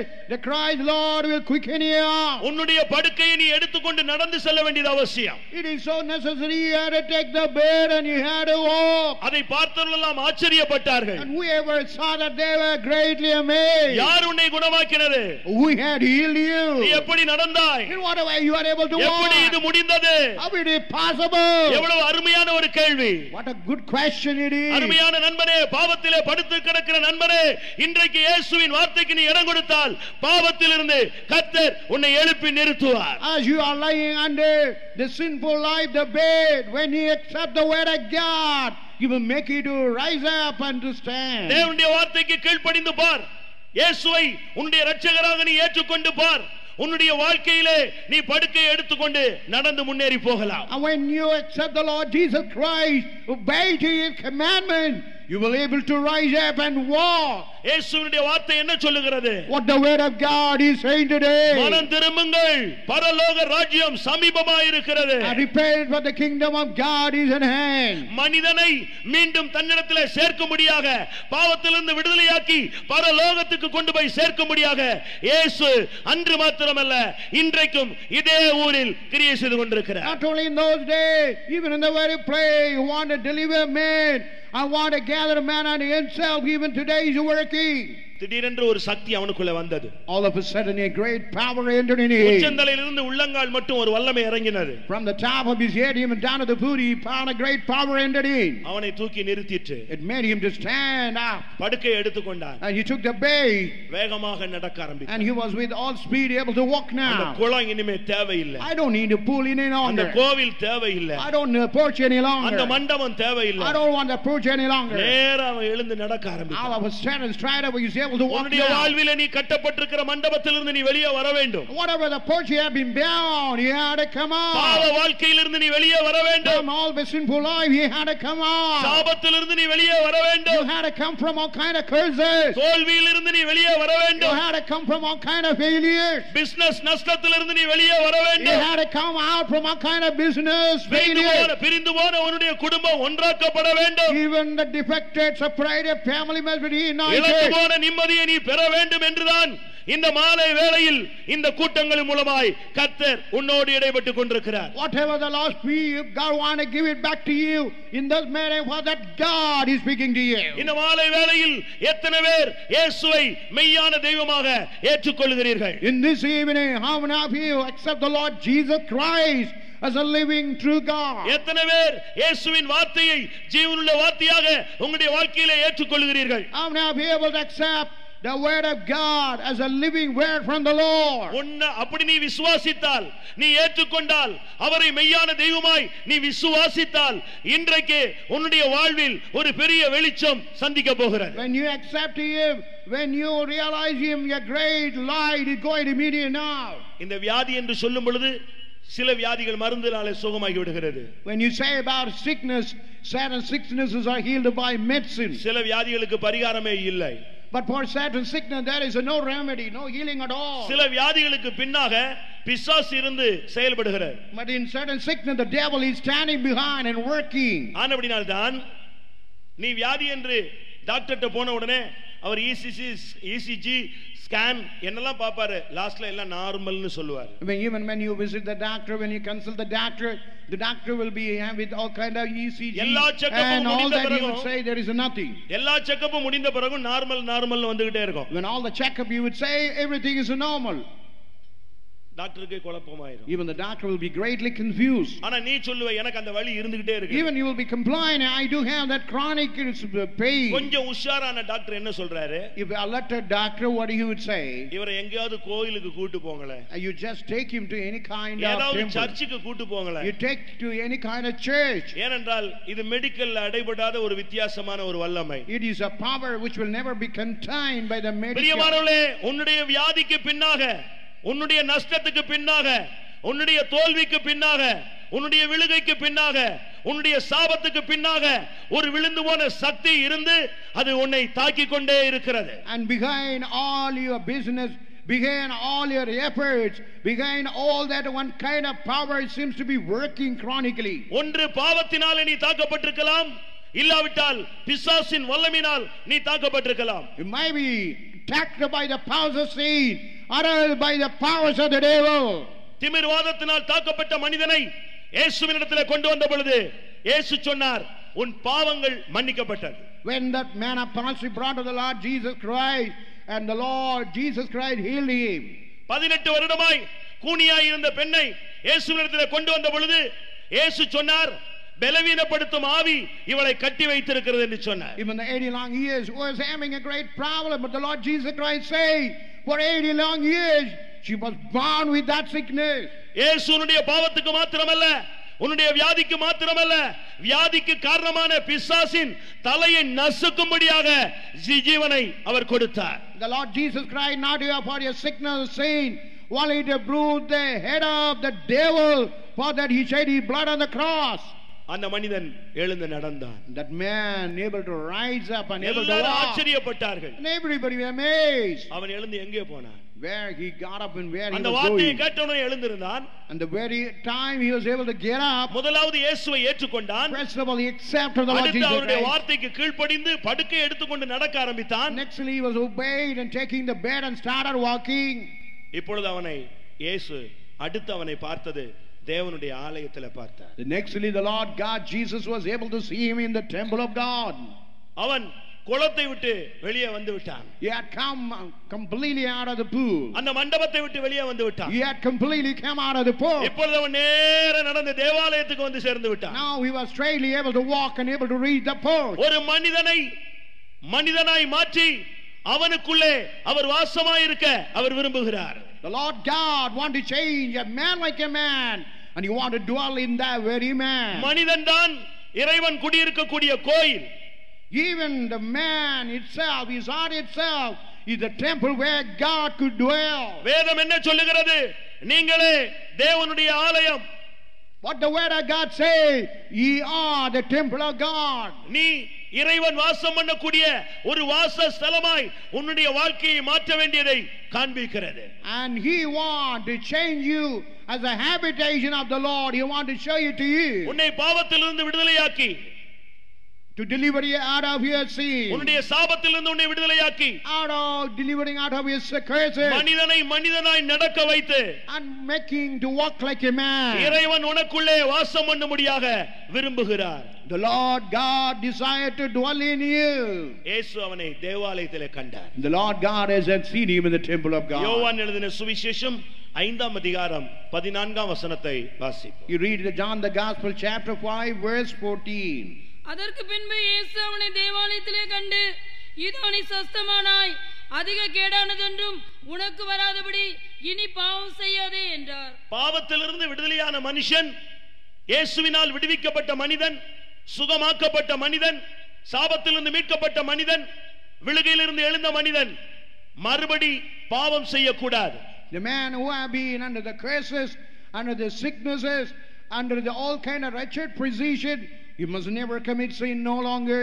இயேசுவை ஏற்றுக்கொண்ட ம- ஏற்றுக்கொண்ட மனிதனை எந்த மதுக்கடையிலும் பார்க்க கூடாது பார்க்க முடியாது And whosoever accept the Lord Jesus Christ, he will never be seen in the liquor shop. He could எந்த never பாவ be. செயல்களிலும் அவன் ஈடுபடக்கூடாது And you should never indulge in any kind of power of such sin. மனிதனை மனிதனாய் மாற்றி மனிதனை புனிதனாய் மாற்றி புனிதனை இறைவனை போல மாற்றக்கூடிய மார்க்கம் கிறிஸ்தவ மார்க்கம் Even the Christianity is making a man, changing a man as a saint, and that man is made as a God. Is the way of this Christianity. இயேசுவை ஏற்றுக்கொண்டு அவருடைய வார்த்தையை ஏற்றுக்கொண்டு தேவனுடைய வாசஸ்தலமாய் மாறின மனிதனை பார்த்து சொல்லக்கூடிய வார்த்தை இனி நீ பாவம் செய்யாதே உன் வாழ்வு ஆசீர்வாதமாய் இருக்கும் As the man accepted the Lord Jesus Christ, and he had accepted him, he became the temple of God. No longer he must do sin. அநேக வருடங்கள் வாழ்க்கையில் அடிபட்டு வேதனைப்பட்டு ஆண்டவருடைய பிரசனத்துக்கு வந்திருக்கிற தேவனுடைய பிள்ளையே ஒரு விசை நீ கண்களை மூடுவாயாக As you have been struck with many problems, as you come in the presence of God, this time you close your eyes. இது எழுப்புதல் கூட்டங்கள் அல்ல உன்னுடைய வாழ்வு மாற்றப்படக்கூடிய ஒரு கூட்டம் It's not a revival meeting, but this meeting is to change your life. அன்றைக்கு மாத்திரமல்ல இன்றைக்கும் கூட ஆண்டவராகிய இயேசு கிறிஸ்து மனிதனை சந்தித்து தன்னுடைய பக்கமாக இழுத்து அவனை விடுதலையாக்கி கிரியை செய்து கொண்டிருக்கிறார் Not only that day, even today, he is able to meet every man and able to change everyone. இயேசு கிறிஸ்து நேற்றும் இன்றும் என்றும் அவர் மாறாதவராயிருக்கிறார் The Lord Jesus Christ, yesterday, today, forever, He is unchanging God. வாழ்க்கையிலே உங்களுக்கு எத்தனை பேருக்கு விடுதலை தேவை In your life, how much deliverance you need. எத்தனை பேர் வருடக்கணக்காய் வேதனையிலே போய் கொண்டிருக்கிறீர்கள் How many long years you are undergoing agony and pain. வாழ்விலே நொறுங்கி போன சகோதரனே சகோதரியே ஒரே ஒரு விசை கண்களை மூடி முழங்கால் படியிட்டு இயேசுவுக்கு உன்னுடைய வாழ்வை நீ அர்ப்பணிப்பாயானால் இன்றைக்கு உன்னுடைய வாழ்வு செழிப்பாய் மாறும் As you have been broken, have been, been torn, when you kneel down, when you surrender yourself, your life will be able to see a prosperity. நம்முடைய மத்தியில பாதிக்கப்பட்ட அநேகர் உண்டு எல்லாரும் ஒரு விசை கண்களை மூடி முழங்கால் படியிடுவோம் And we all been affected. One minute, let us close your eyes and stand on a knee. கர்த்தர் தம்முடைய ஜனத்தை சந்திக்கக்கூடிய நேரத்துக்கு நாம் Now வந்திருக்கிறோம் we have come to the time where God could meet the அந்த people of மண்டபத்துக்கு God. தேடி அந்த மனுஷனை தேடி வந்த இயேசு இந்த மைதானத்திலும் இந்த சத்தத்தின் மூலமாகவும் அவர் உன்னை தேடி வந்து கொண்டிருக்கிறார் Uh, The Lord God who had come in search of that uh, fool and the poet, even today in this ground, He has come in search of you. வெகு காலமாய் நீ வேதனைப்பட்டுக் கொண்டிருக்கிறாய் என்பது ஆண்டவருக்கு தெரியும் The Lord God knows for many long years you have been under torment. உன்னுடைய உண்மையான பிரச்சனை என்பதை அவர் அறிவார் He knows what is the real problem you are undergoing. இன்றைக்கு உனக்கு ஒரு விடுதலை Today you are going to see a இன்றைக்கு deliverance. நாங்கள் உனக்கு ஒரு நற்செய்தியை அறிவிக்கிறோம் ஆண்டவராகிய இயேசு கிறிஸ்து உன் வாழ்வை ஒளிவீச செய்ய போகிறார் And today we are telling about a good news. The Lord Jesus Christ going to send forth His light upon you. அவருடைய நாமத்தில் நமக்கு விடுதலை இருக்கிறது By His name we have a deliverance. ஒரு மனிதன் இயேசுவை பார்த்து தாவீதின் குமாரனே எனக்கு இறங்கும் என்று அபயமிட்டான் இயேசு கேட்டார் நான் உனக்கு என்ன செய்ய வேண்டும் When the man who heard about Jesus Christ, who son of David, have a mercy upon him, and Jesus asked him what he should do for him. யாரும் தயவு செய்து கண்களை திறக்காதீர்கள் Please don't open your eyes. எல்லாரும் கண்களை மூடுங்க Please, everyone, close your eyes. தாவீதின் குமாரன் நம்முடைய மத்தியிலே கடந்து வந்து கொண்டிருக்கிறார். Even the son of David is coming in our midst. ஒரே ஒரு விசை வாயை திறந்து எனக்கு இறங்கும் என்று நீ கூப்பிடுவாயானால் இன்றைக்கே உன்னுடைய வாழ்வில் நீ என்ன செய்ய வேண்டும் என்று சொல்லுகிறாயோ அதை அப்படியே நிறைவேற்ற அவர் வல்லமையும் உண்மையும் உள்ள தேவனாய் அவர் இன்றைக்கு கிரியை செய்து கொண்டிருக்கிறார். When you open your mouth, when you ask the Lord to do, He is so powerful do what kind of work He could do now. எல்லாரும் வாயை திறந்து தாவீதின் குமாரனே எனக்கு இறங்கும் என்று கூப்பிடுங்கள் இதோ உன்னை தேடி அவர் உனக்கு அருகே வந்து கொண்டிருக்கிறார் How you judge, he cried, O son of David, right now he coming in search of you. பாவியாக இருக்கையிலே அன்பால் பாரில் உன்னை தேடி வந்தாரே நீசன் என்றுன்னை தள்ளாமலே நேசனாக மாற்றினவே. நேசன் என்றுன்னை தள்ளாமலே நேசனாக மாற்றினவே. ஆ, இயேசுவின்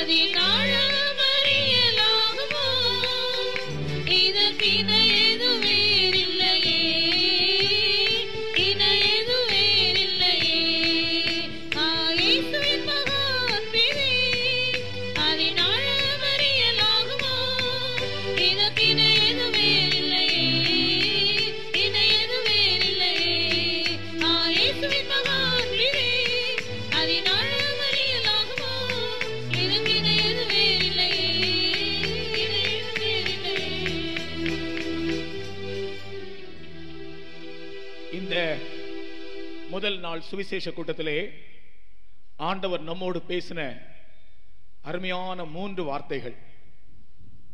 முதல் வார்த்தை விரும்புகிறாயா? இரண்டாவது வார்த்தை எழுந்து நட. மூன்றாவது வார்த்தை இனிமேல் பாவம் செய்யாதே. எவ்வளவு அருமையான மூன்று வார்த்தைகள் பாருங்கள். முதல் வார்த்தை என்ன? விரும்புகிறாயா? இரண்டாவது வார்த்தை எழுந்து நட. மூன்றாவது வார்த்தை இனிமேல் பாவம் செய்யாதே. எழுபத்தி ஐந்து லட்சம் ரூபாய் செலவு பண்ணி ஒரு ஆள் ஒரு வீடு கட்டினார். அழகான வீடு. அந்த நாட்களிலே கிட்டத்தட்ட ஒரு இருபது வருஷத்துக்கு முன்பு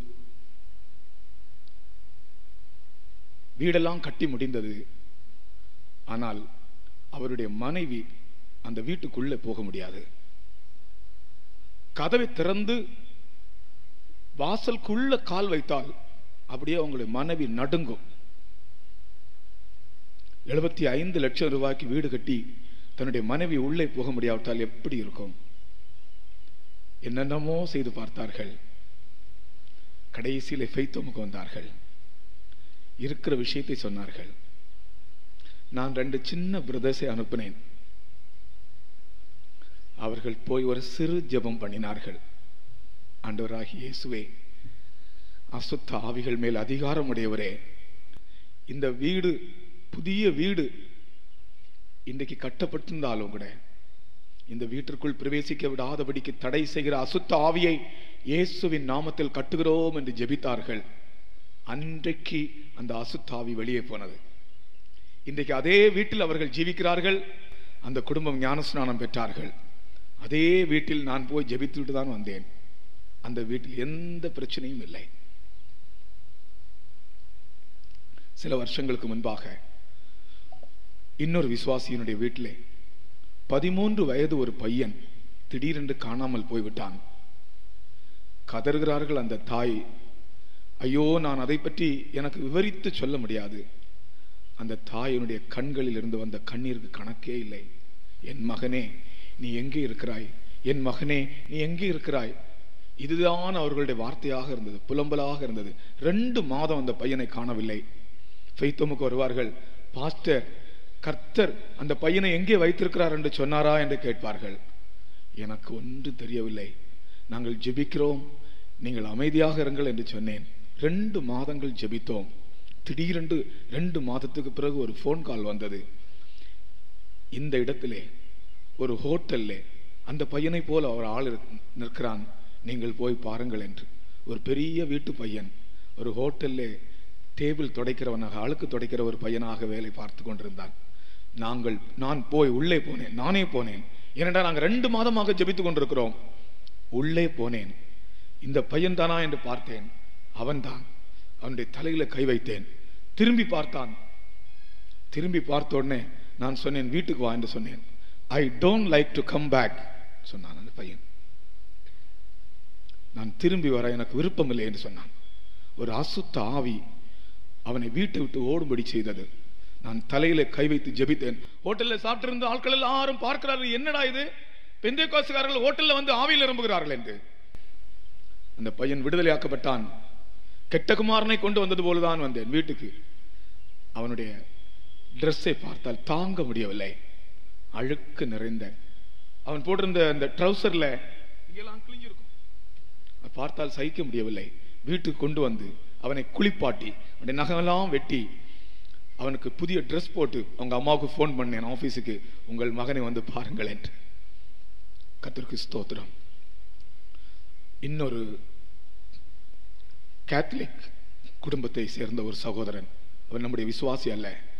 திடீரென்று நம்முடைய விசுவாச வீட்டுக்கு ஓடி வந்தார். எங்கள் அப்பா மரண அவஸ்தைப்படுகிறார். தயவு செய்து எங்களுக்கு ஜெபித்து உதவி செய்வீர்களா என்று கேட்டார். நான் உடனே நானும் என்னுடைய விசுவாசியும் போனோம். அங்கே போய் பார்த்தால் அவருடைய முகமெல்லாம் விகாரமாக இருந்தது. கையெல்லாம் விகாரமாக இருந்தது. கீழே படுக்க முடியவில்லை. எழும்பி நிற்க முடியவில்லை. உட்கார முடியவில்லை. துடி துடித்து கொண்டிருந்தார். என்ன நடந்தது? என்று கேட்டேன். மெடிசின் சாப்பிட்டு சாப்பிட்டு பாய்சன் ஆகிவிட்டது என்று சொன்னார். ஐயோ ஐயோ என்று கத்தினார். தோலெல்லாம் வெடித்து வெடித்து இருக்கிறது ரத்தம் வருகிறது. பக்கத்தில் போக முடியாத நாற்றம். ஒரு சிறிய ஜெபம் பண்ணினேன். கர்த்தாவே குஷ்டரோகியை தொட்டு சுகமாக்கினவரே இந்த சகோதரன் நம்முடைய கையினால் தொடமாட்டார் நாற்றம் பக்கத்தில் இருக்க முடியவில்லை. நாங்கள் ஜெபித்து வந்தோம். மூன்றாவது நாள் நான் திரும்பி போனேன். மூன்றாவது நாள் நான் போகும்போது நீங்கள் நம்புவீர்களோ தெரியவில்லை. அந்த சகோதரன் தன்னுடைய வீட்டு தோட்டத்திலே செடிகளுக்கு வேலை செய்து கொண்டிருக்கிறார். கர்த்தருடைய நாமத்துக்கு ஸ்தோத்திரம். இயேசு கிறிஸ்து விரும்புகிறாயா என்று கேட்கிறார். விரும்புகிறாயா என்று கேட்கிறார். விரும்பினால் அவர் உனக்கு தருவார். எதுவானாலும் சரி விரும்புகிறாயா? எழுந்து நட. இனிமேல் பாவம் செய்யாதே. விரும்புகிறவர்கள் எல்லாரும் எழும்பி நில்லுங்கள். ஆமேன். கர்த்தருடைய வல்லமை உங்களை தொடுகிறது. ஏசு கிறிஸ்துவின் அதிகாரமுள்ள நாமத்தில் நாங்கள் ஊழியக்காரர்கள் எல்லாரும் சேர்ந்து உங்களுக்காக ஜெபிக்க போகிறோம். யாராகலும் இந்த இடத்திலே பய நீங்கள் கேள்விப்பட்டபடி பயங்கர பிரச்சனையோடோ கட்டுகளோடோ மந்திரவாதத்தின் பயங்கரமான அந்த வல்லமையின் தாக்குதலோடோ இந்த இடத்தில் வந்திருந்தால் மன சமாதானமற்றவர்களாய் வந்திருந்தால் குடும்ப பிரச்சனைகளால் நிறைந்து வந்திருந்தால் பயங்கர ரகசிய வியாதிகளால் பாதிக்கப்பட்டவர்கள் இந்த இடத்தில் வந்திருந்தால் ஏசு உங்களிடத்தில் கேட்கிறார் விரும்புகிறாயா? சொல்லுங்கள் பதில் சொல்லுங்கள் விரும்புகிறாயா? பதில் சொல்லுங்கள் விரும்புகிறாயா? என்னுடைய இந்த ஸ்பீக்கர் சத்தத்தை விட உங்களுடைய சத்தம் பெரிதா இருக்க வேண்டும். ஏனென்றால் விடுதலை தேவையானவர்கள் உங்கள் இருதயத்தின் ஆழத்திலிருந்து நீங்கள் உரத்த சத்தமாய் விரும்புகிறேன் என்று சொல்லுங்கள்.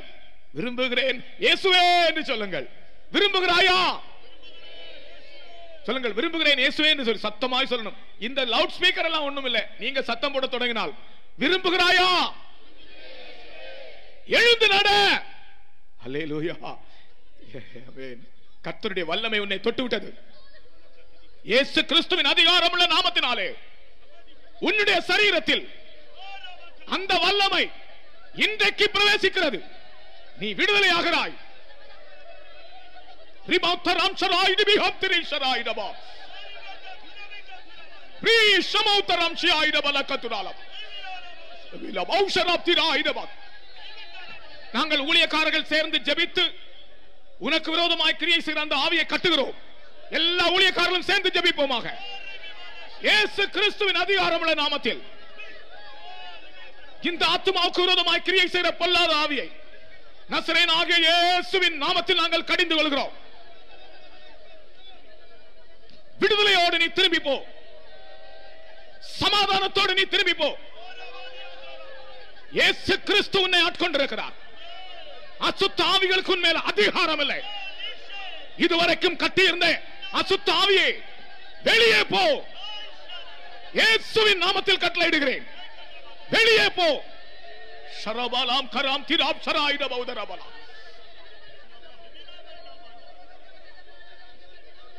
வல்லவரே இயேசு நல்லவரே மிக அன்பு நிறைந்தவரே உனக்காகவே ஜீவிக்கிறார். அந்த கோரஸை நாங்கள் பாடப்போகிறோம் அந்த கோரஸ் பாடிக்கொண்டிருக்கும் போது நீங்கள் அநேகர் விடுதலை அடைந்து நீங்கள் துள்ளி குதிக்க போகிறீர்கள். வல்லவரே இயேசு நல்லவரே மிக அன்பு மிகுந்தவரே. இயேசு நல்லவரே அவர் வல்லவரே. உனக்காகவே ஜீவிக்கிறார். வல்லவரே இயேசு நல்லவரே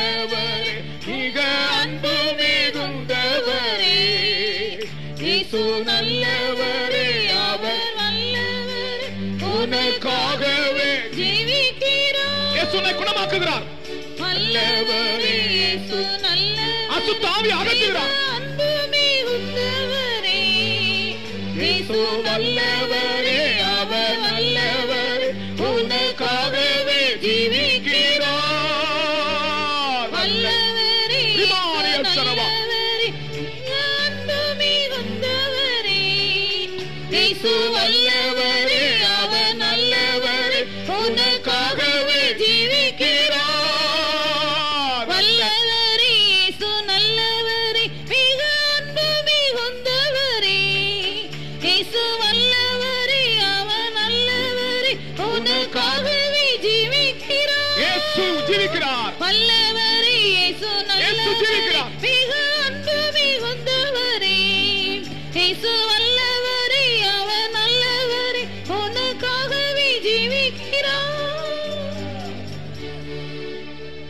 விவாகமாகி விவாகமாகி பல வருஷங்கள் ஆகியும் உனக்கு குழந்தைகள் இல்லாமல் உன்னுடைய மனதில் நீ மிக பாரத்தோடு வந்திருக்கிறாய். உன்னுடைய சரீரத்தை ஏசு இப்பொழுது தொடுகிறார். உன்னுடைய சரீரத்தை கட்டி இருக்கிற அசுத்த ஆவியை உன்னிடத்தில் இருந்து அவர் அகற்றுகிறார். விடுதலை அடைவாயாக ஆசீர்வதிக்கப்படுவாயாக ஆண்டவருடைய கரம் உன்னை தொடுகிறது. நல்லவரே இயேசு நல்லவரே. மிக அன்பு மிகுந்தவரே. இயேசு வல்லவரே அவர் நல்லவரே ஓ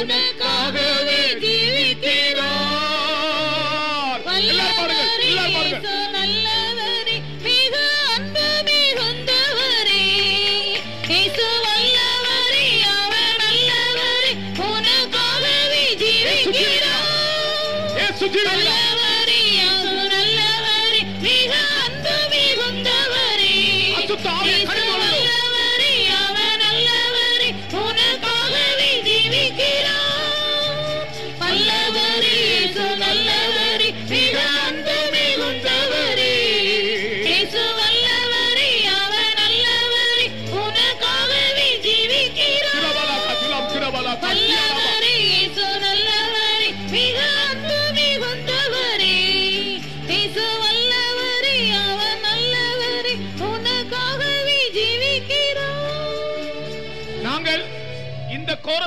நாங்கள் விருதாவாக பாடவில்லை. இந்த கோரஸை பாடிக்கொண்டிருக்கும் போது உங்களுடைய சரீரத்திலும் உங்கள் ஆத்மாவிலும் ஆண்டவருடைய ஒரு தொடுதல் நீங்கள் உணர்வீர்கள். நீங்கள் இருக்கிறதிலே நிற்கிற இடத்திலே நீங்கள் துள்ளி குதிக்கக்கூடிய ஒரு வல்லமை உங்களுக்கு உண்டாகும். ஏனென்றால் ஒரு அசுத்த ஆவி கட்டி வைத்திருக்கிறது. அந்த ஆவியை கத்தர் விட அவிழ்த்திருக்கிறார். உங்களை விடுவித்திருக்கிறார். உங்களுடைய நீங்கள் கேள்விப்பட்டது போல உங்களுடைய பிரச்சனைகளுக்கெல்லாம் காரணமே அதற்கு பின்னாலே ஒரு அசுத்த ஆவி இருக்கிறது. இயேசு கிறிஸ்துவின் நாமத்தில் இன்றைக்கு அந்த அசுத்த ஆவியை நாங்கள் கட்டுகிறோம். விடுதலை அடைங்கள் ஒரு தடவை கூட நாங்கள் பாடுகிறோம். நீங்கள் நிற்கிற இடத்திலே ஆண்டவர் உங்களை உயிர்ப்பித்து நீங்கள் அங்க இருந்து குதிப்பீர்கள். நடனமாட போகிறீர்கள். வல்லவரே இயேசு நல்லவரே. மிக அன்பு மிகுந்தவரே இயேசு நல்லவரே அவர் நல்லவரே. உனக்காகவே ஜீவிக்கிறார் ஜீவிக்கிறார் வல்லவரே இயேசு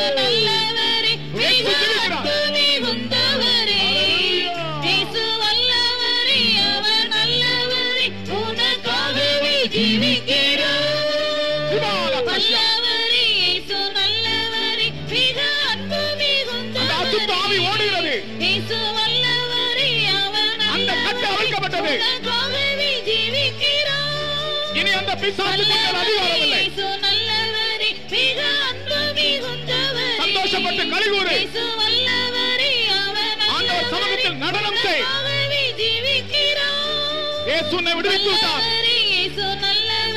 மிக அன்பு மிகுந்தவரே. இயேசு நல்லவரே அவர் நல்லவரே உனக்காகவே ஜீவிக்கிறார். வல்லவரே இயேசு நல்லவரே மிக அன்பு மிகுந்தவரே. ஆமென்.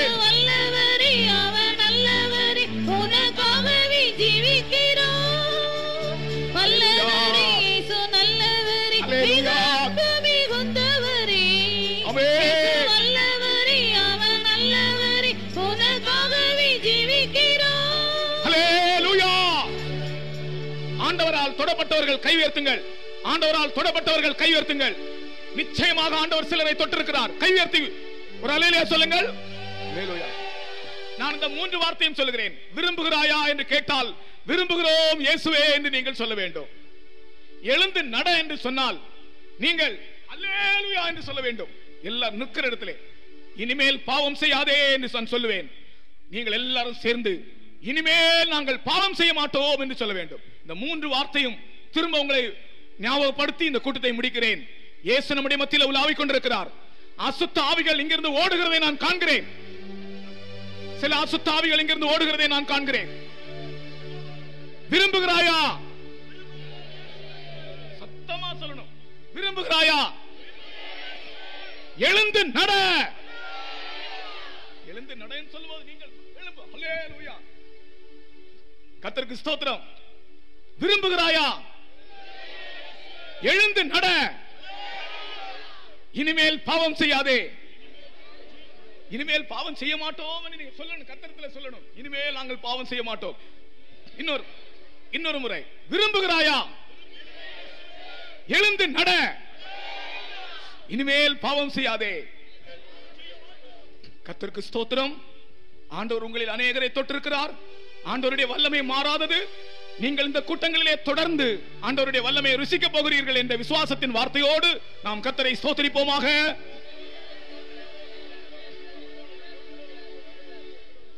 இந்த முதலாம் நாள் கூட்டத்தை கத்தர் ஆசீர்வாதமாக நடத்தி தந்தபடி ஆள் கத்தரை சோதரிப்போம் ஆதி இடைக்கடை தோல்வி போல் தோன்றினாலும் தேவன் நம்மை ஆச்சரியமாய் நடத்தினார் அதற்காய் சோத்திரிப்போம் ஸ்தோத்திரம் ஸ்தோத்திரம் ஸ்தோத்திரம் ஸ்தோத்திரம். ஸ்தோத்திரம் ஸ்தோத்திரம் ஸ்தோத்திரம் ஸ்தோத்திரம். தொடர்ந்துள்ள கூட்டங்களுக்காக ஸ்தோத்திரம் பண்ணுவோம். எல்லா மகிமையும் கனமும் நம் இயேசுக்கே செலுத்தி ஸ்தோத்திரம் பண்ணுவோம். ஜோம் பண்ணலாம். எங்களை நேசிக்கிற பரமபிதாவே இந்த அருமையான நேரத்தை தந்தீரற்கார் நன்றியோடு ஸ்தோத்திரம். இந்த தேசத்தை நேசித்து இப்படிப்பட்ட ஒரு எழுப்புதல் கூட்டத்தை எங்களை தந்த தயவுக்கார் நன்றியோடு ஸ்தோத்திரம். இந்த மத நாள் நாள் கூட்டத்திலும் நீர் எங்கள் கடந்து வந்து கூட்டத்தின் ஒவ்வொரு பகுதி நீங்கள் காவிக்குள் ஆக்கி தந்தீர். அதற்கான நன்றியோடு ஸ்தோத்திரம். நிர்பந்தமான நிலவரத்தில் இருந்ததான் விடுவிக்கும்படியா உடைய கரத்தை நன்மை செய்கிறதா திறந்தது போல் இந்த மாலை நேரத்திலே நீரிங்கள் மத்தியில் கடந்து வந்து செய்த நன்மைகளுக்கா நன்றியோடு ஸ்தோத்திரம். முப்பத்தெட்டு வருஷமாக வியாதி படிக்கிறதுதான் மனிதனை விடுவித்தது போல இந்த நேரத்திலே வந்ததான எத்தனை பேர் பலவிதமான கட்டுகளோடும் பிரச்சனையோடும் ஒவ்வொருவரையும் விடுவித்த தயவுக்காக. உமார் விடுதலையாக்கினால் மெய்யா விடுதலை ஆவிரடி சொன்ன பிரகாரமாக நீர் விடுதலை அளித்த தயவுக்கா நன்றியோடு ஸ்தோத்திரம். ஆண்டவராக இயேசு அந்த முப்பத்தெட்டு வருஷம் யாதுள்ள மனிதனை நோக்கி நீ விரும்புகிறாயா சுகமாக விரும்புகிறாயா என்று கேட்டது போல் அவர் விரும்புகிறார் என்று சொன்ன பிரகாரமாக அவருக்கு விடுதலை தந்தது போல் இந்த நேரத்திலே பலவிதமான நிறுவனத்தோடு வந்ததான ஒவ்வொருவருக்கு பிடிவித்து அந்த கட்டுகள் எல்லாம் அவிழ்க்கப்பட நீர் உதவி செய்த தயவுக்கா நன்றியோடு ஸ்தோத்திரம். அவர் நடந்து சென்றது போல இனி நாங்கள் உமக்கு பிரியமாக ஜீவிக்க ஒன்றதான ஒரு ஜீவியை செய்ய நீர் உதவி செய்யும்படியா செஞ்சிடும் இனி நீ பாவம் செய்யாதே என்று சொன்ன பிராரமாக உமக்கு பிரியமான ஒரு ஜீவியம் செய்து ஒரு மேலான அனுபவத்தில் கடந்து செல்லும்படியா கெஞ்சிரோம் இன்றைக்கு நீர் ஜீவிக்கிறீர். நன்மை செய்கிற இயேசு எங்கள் மத்தியில் கடந்து வந்த தயவுக்கா நன்றியோடு ஸ்தோத்திரம். வந்த ஒவ்வொரு நீர் பேர்பரா நீர் ஆசீர்வத்த தயவுக்கா நன்றியோடு ஸ்தோத்திரம். பிரச்சனையோடும் கேள்வியோடும் கட்டுகளோடு வந்ததான ஒவ்வொருவருக்கு நீர் ஒரு சமாதானத்தையும் சந்தோஷத்தையும் இணைப்பாதனை தந்த தயவுக்கா நன்றியோடு ஸ்தோத்திரம். வசனத்தை கேட்டதான ஒவ்வொருவரையும் உடைய கரத்தில் சமர்ப்பிக்கிறோம். அவர்கள் இன்னும் தொடர்ந்து கூட்டங்களில் பங்கு பெற தேவனுடைய ஆசீர்வாதம் பெற்றுக்கொள்ள உதவி செய்யும்படியா செஞ்சிடும் தொடர்ந்து ஒவ்வொரு நாள் மாலை நடக்கிற கூட்டங்களை நீர் எங்களுக்கு ஆசீர்வாதமாக்கி தார் உடைய வருகை சமீபம் வாக்குத்தத்தங்கள் வசனங்கள் நிறைவேறி கொண்டு வருகிறது. இந்த கடைசி நாட்களில் அநேகரை கர்த்தருடைய பக்கமா திரும்பும்படியா. கெஞ்சிறோம். மனம் திரும்புங்கள். அருளோக ராஜ்யம் சமீபமாக இருக்கிறது போல். உடைய வருகை சமீபமாக இருக்க நிமித்தமாக அந்த நீத்திய ராஜ்யத்தை அந்த நீத்திய ஜீவனை சுதந்திரத்துக் கொள்ள இந்த தேசத்தில் ஒரு கூட்ட ஆத்தமாக்களை நீ ரட்சிக்கும்படியா உன்பக்கமாக இழுத்துக் கொள்ளும்படியா கெஞ்சிறோம் ஒரு கிருபைக்குள் பாதுகாத்துக் கொள்ளும். உடைய மாசற்ற வரைக்கும் ஒரு ஆயத்தப்படுத்தும் கனமை மணியில் எடுத்துக் கொள்ளும். ஏசுவி நாத்தில் கேட்கிறோம் பிதா. நம்முடைய கர்த்தராகிய இயேசு கிறிஸ்துவின் கிருபையும் பிதாவாகிய தேவனுடைய அன்பும் பரிசுத்தாவின் ஐக்கியமும் நம் அனைவரோடும் சதா காலங்களிலும் தங்கியிருப்பதாக. Hallelujah hallelujah hallelujah